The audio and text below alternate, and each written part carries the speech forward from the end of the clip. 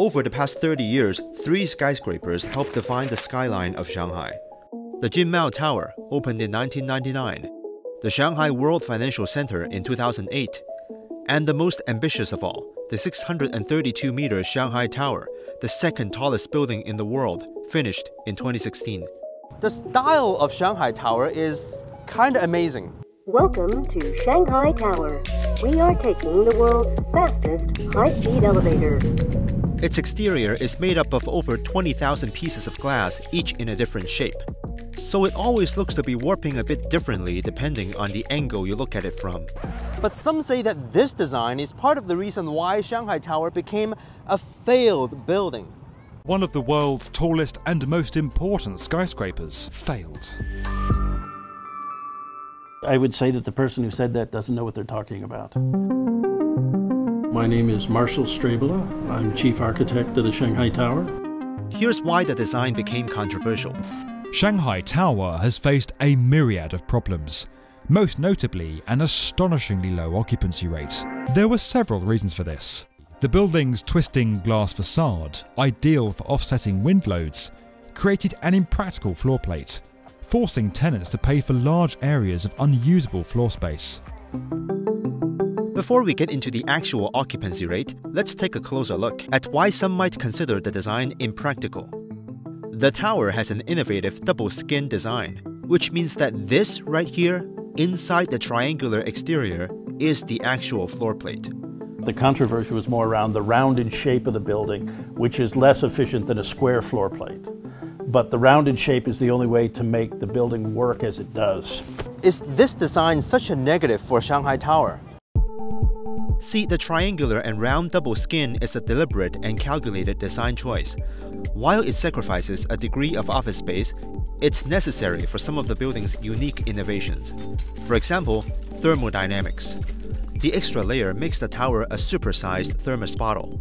And you even see the taxi drivers in Shanghai have this bottle for their tea, and it has a bottle inside the bottle, which is exactly what this building is. As a result, Shanghai Tower uses 50% less energy than average to maintain its optimum temperature. In January, when outdoor temperatures drop to around 7 degrees Celsius, the air inside can reach 14 degrees even without central heating turned on. Second, the twisting shape reduces the wind load by 24%. That's important if you're going to build something this high in a typhoon-prone area. Inspiration for this comes from the world's tallest building, the Burj Khalifa. The Burj Khalifa is actually a series of step terraces that form an inward vortex. And that inward spiral actually reduces wind loads. So that same spiral idea became the twisted skin of the Shanghai Tower. We try to make the building unaerodynamic. The fancy word is disorganized vortex shedding. If you picture an airplane wing that is designed to create organized vortex shedding to lift a plane in the air, if you were to take the wing and twist the wing of the airplane, it would never fly. The same thing as the Shanghai Tower. That twisted form breaks up the wind. All of this means the 632 meter skyscraper doesn't need extra materials inside to fortify it against wind, saving money and space. So we estimated it saved about 80 million US dollars in construction cost, which then paid for the second skin. And what's between the two layers of skin? They yeah, they have trees in there.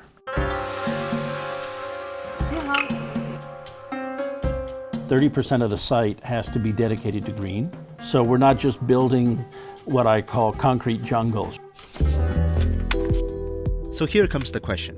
Does the design make the building impractically inefficient in terms of office space? We took this question to Strabala. So you see this rounded wall, and then the core has all the elevators, stairs, and yep. things that you need for a building.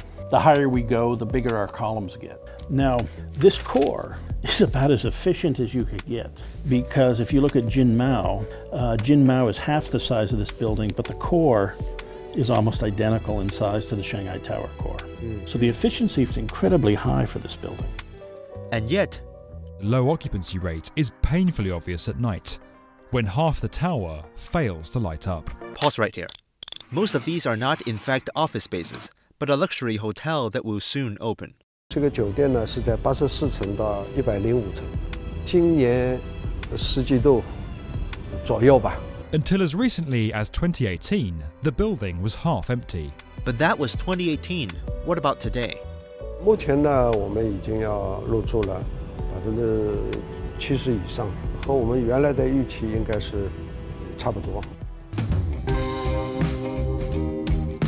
Concerns over the tower's finances are unsurprising because its investors, led by the municipal government, spent huge money on sustainability technologies, from wind power turbines to a rain recycling system.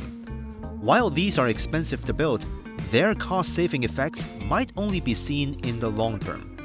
作为绿色建筑来讲，它一次性的投入一定会增加，但是它投入运营以后，它由于可以减少百分之二十的能耗，就是一个非常可观的节约成本。 So that's a difference between planning in America and planning in China. China is one of the few countries that is really pushing sustainability. It's because they can push it. Whereas in the West, in America, 90% of the buildings are done by private developers. So they want to make the most profit for the least amount of investment.